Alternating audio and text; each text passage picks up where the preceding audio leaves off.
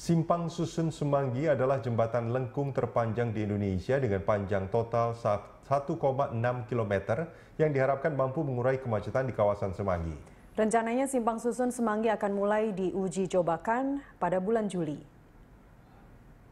Dinas Bina Marga DKI terus mengebut proyek jalan layang Simpang Susun Semanggi, Jakarta Selatan.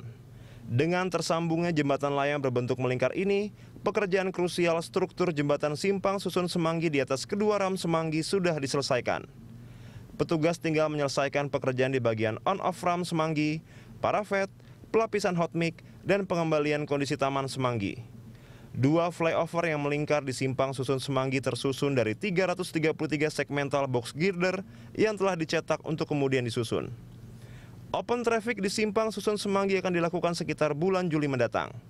Simpang Susun Semanggi merupakan jembatan lengkung terpanjang di Indonesia dengan panjang total 1,6 km yang terdiri atas dua ram. Ram pertama menghubungkan Grogol menuju Blok M, sedangkan ram kedua menghubungkan Cawang menuju Bundaran Hotel Indonesia. Proyek yang memakan biaya 345 miliar rupiah ini diprediksi mengurangi kemacetan lalu lintas di kawasan Semanggi hingga 40 persen. Simpang Susun Semanggi rencananya akan diresmikan bulan Juli atau paling lambat Agustus 2017 mendatang yang rencananya akan diresmikan oleh Presiden Joko Widodo.